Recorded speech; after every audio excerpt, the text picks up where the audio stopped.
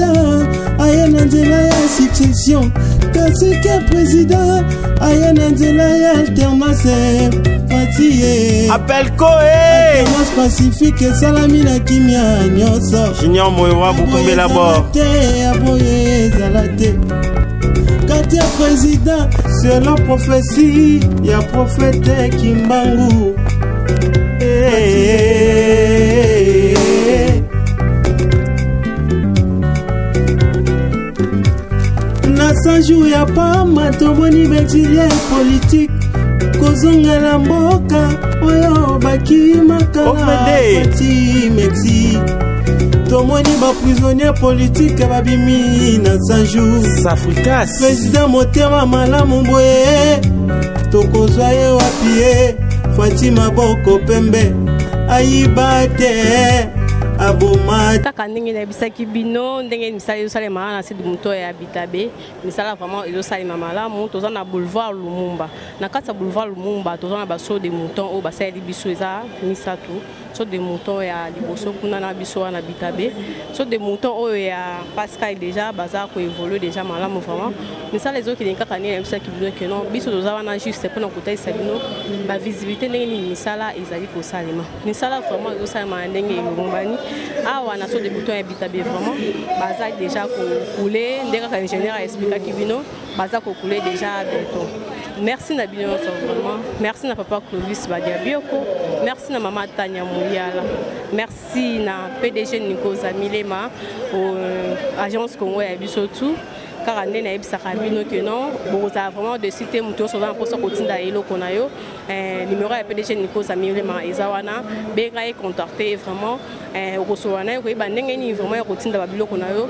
ekokoma kala mingi te déjà babiloko déjà conteneur déjà ezokoma kala mingi te conteneur ezokoma déjà conteneur ndeke ezokoma mosusu conteneur mosusu déjà ezosala oza na besoin kotinda eloko na yo bafete déjà yango oyo contacte pdg nico zami lema aza wana vraiment juste mpo na bino nyonso boza na mposa kotinda biloko na bino na allemagne na paris wapi tout ça benga ye contacte numero eza wana merci na bino nyonso merci na famille bombolo boketu merci na fabrice mutombo merci na famille mutombo bambote na bino yango wana merci na osama na hollande bamerve na yo bambote na yo ebele yango wana nayebi ke déjà donc bonane oyo toza ekosepela merci na bino nyonso vraiment merci na bafani nyonso balingaka tina tina la grèce tina kanku bombolo merci na bino nyonso bosabone bopartage yango nde eza fierté ya tina bosabone vraiment yango nde ezalaka esengo na ngai ntango boza kosabone epesaka ngai joie ntango naotaka ke non émission ya tina etami nayebi ke non seke bafan na tina balingaka tina merci na bino nyonso nayela bino to bamerve bambote na bino ebele ebele yango wana nayebi ke bona nio naza ya kosepela nayebi ke bakode eya bakode eya ebele nayebi ke baobenga Sina kende boye kezwa ke western kezwa ba meilleur vœux na bino na souhaiter bino déjà donc à bientôt. To sepela na bino ensemble. Eh. Bye bye.